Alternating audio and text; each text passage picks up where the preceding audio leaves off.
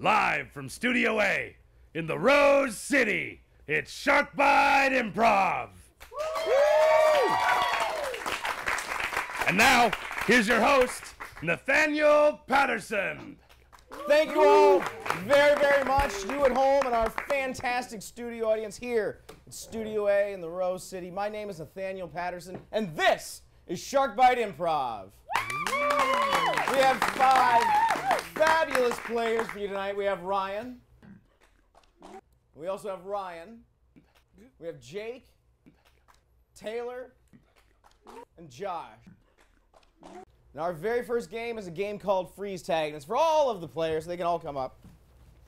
Now, the way Freeze Tag works is that this we'll start with two people in a scene. So who's going to start the scene? It'll be Josh and Ryan.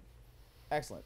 And at any point, any one of the other cast members can say freeze and assume the position of one of these two, tag them out, and start a whole new, entirely different scene. So, from you, the audience, can I get a suggestion of a, a place you would not want to be stuck at work?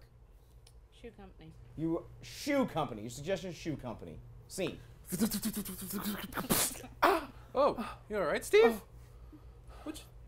You okay? Just, uh, trying to make all these shoes as quickly as I can well, you, with you my, should, my tiny you fingers. shouldn't be so close to the rat traps, all right? This is not where we make the shoes. So let me just get these box of rat traps over here. The buffer's below. Thank you, Carl. Freeze. I made a corn silk doll for you, Father. Hmm. That's great, son. That's great. A corn silk doll. I really appreciate the things that you do with your art. I made it Freeze. senior year.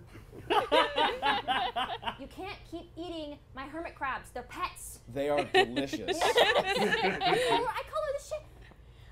I hated that shell, shell. shell and all. It was originally a soda can because it's a hermit crab and they can live in anything. Tabitha. Well, I painted that Well, one, Mike. you use Pactor paint, which is pretty toxic to This, animals. this is why it's not working out. and This is why I'm moving out. That's fine. You're my sister. Get out.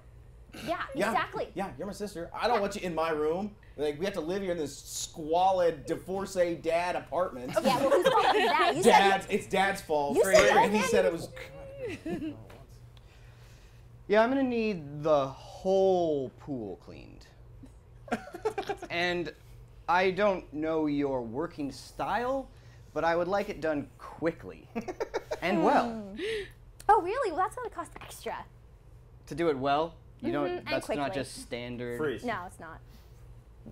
I have more love poems for you, Harold. I have quite a few already. oh, did you, did you like the last ones I wrote? See, I'm only about three or four into them. They're Oh. each about ten pages long. Yeah, I, I, I, com- I it's a leather-bound book.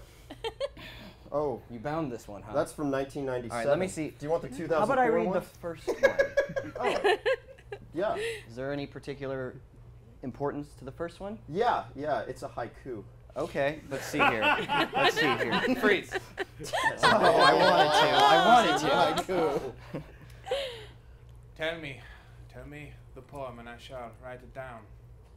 Okay. My quill. All right. Well, it's a love poem for uh, Oh, Harold. wait, I gotta put the. Is it the quill? It needs ink. Right. okay. All Well, right. I, flick, I flicked some of the ink off when I did the Oh. thing. Oh. oh. okay, now do it. Can can it be on parchment? Is that okay? I'm gonna have to find some sheep, and I'm going to have to flay them alive. Freeze! Nostromo, you've you've done terrible things to my flock. The master wanted parchment, and that's how you make parchment. To my crook. Yes, you are a shepherd, Mr. Shepherd.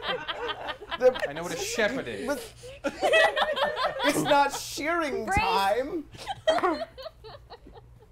They took little Betty, my my little sheep. Yes. They flayed her. Alive. How could you let them do that to her? All I have is a crook. How can it's like I'm a That's bat, no I- excuse. I- it's like I'm a Batman villain. You call that a crook? this is a crook.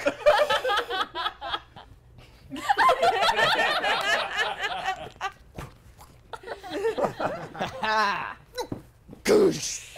Got a microphone on. I don't want to fall. Yeah. Well, It's like a bishop's crozier. It's so big. I can't really shepherd very effectively with this, but it looks cool. You can push a lot of Catholics around with it. Freeze. Good laugh back there. Hey, uh, look, um, I didn't mean to get sucked into the board game Candyland, but the candy cane force is a little awkward. I just want to get out, okay? I can't give you any advice. I'm just, uh, I'm a side attraction here. Okay, I got double purple. I just wanted to get out. This is like Jumanji. It's creeping me out. Freeze. Oh, so you come to the Gingerbread Guild to get out of Candyland? Yeah. Look, I was talking to Mr. Plum. That guy's nuts. Okay? He's technically a professor. I know. You would, I thought that was Clue. It doesn't matter. Look, the point is, you got me running around. In order to move, I keep having to draw cards out of nowhere. It's getting really oh, awkward. there's one. Oh, Draw come on. Jesus. Go Red. back three spaces. All right. Look, I just need to get out, okay? You don't understand. All right? It's a little terrifying. There's that whole mud pit thing that's apparently made of chocolate. I'm Freeze. Pretty- Still stuck in Candyland. You know, I live in a glass house and I will throw stones. It's glass candy. Don't please don't no, you don't understand. I lost my brother in the in the like the mud pit, the chocolate swamp. It's delicious, and so was he. Wait, Princess Lollipop is kind of a whore. She came on to me. Things have been awkward. well, she's European royalty. They're all sort of inbred and whorish. Come on. All right, look, You got it? Was that? Oh, ooh, yellow. yellow. Oh, would you lemon drop? There, Oh. there you go. Is it? This isn't like the toxic ones that I found in the lollipop. were. That is a choice you must make in this world. Freeze. Daniel, could you have given me a tinier teacup? if you so insist. no, it was sarcasm. Oh, Daniel, just put it next to the other seven that are on my hand. Oh, yeah, it's like, there, it's like little Russian nesting. I'll just. Oh wait, here. There's the Thank you one. for the tiniest one. Thank you. I got them from Russia, like nesting dolls with cups. There's they not love even any- tea in There's Russia. not even any liquid in here, Daniel. It's, it's an idea. I think Hey, so March Hare, when Alice gets here, we gotta act just totally nuts. All right? It's gotta really. It's gotta be. You gotta sell it. You know, I went to Juilliard just for this purpose. I know. I mean, I got my degree in economics from Yale. I mean, Yeah. Freeze. Um, Agnes, are you quite finished with your cross stitch? I, I was, I was working on it. You, you wanted sheep's wool. Sheep's coal. Oh, I believe you misunderstood what I said, Agnes. do, coal, do sheep mine coal? It's a, it's a, it's a play on words. It's Oh. going to be rather creative, and we're going to sell it. like a Wordsworth poem. fair. Freeze. like a Wordsworth poem. Agnes, your sheep have been producing crap for coal. You need to work them harder in the coal mines. Here's my curvy.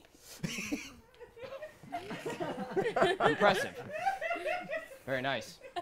Keeps going, doesn't it? It's rather elaborate. Well, Freeze. you drove my family out of business with your coal mining sheep, and you had that parchment poem writer with the long with the quill that didn't hold ink. You had him kill my daughter's lamb, Agnes. It was you. You seem very rude about this. Ooh, it's curvy straw. Okay, I'm out of it. Oh, I, I dropped my tiny. It's rather non-threatening, really, but it gets freeze. the point. Got a tiny one. Well, you're the longest person to stay at old man pole dancing. now I'm gonna teach you the twisty. Eh? You just gotta get up to the top. I've got a bunch of wooden nickels from the turn of the century. Sometimes, sometimes when I get to the top, people say I look like a sloth. You be the judge of that. I like sloths. Because you know what I like? Gray hair. Okay, Freeze. Oh, damn, I was going to make another joke. All right, all right, all right, baby. Now remember, when those old ladies come in, we gotta be dancing up and down the pole. Uh, I took this for five years, pole, old man pole dancing. I know how it works. I own this club. Jonathan. All right. Now, now, I was the look- old man club. yeah. Hmm. I've been I've owned this club for 35 years. Back then, it was a young man's pole dancing. That's pretty hot. But that's not the point. the folds in your skin are wrapping around, though. And scene! That's when Oh, I got dizzy. That's not good. The folds in your skin are a wrapping around the pole. Only the finest. Only the finest here in Portland for for free.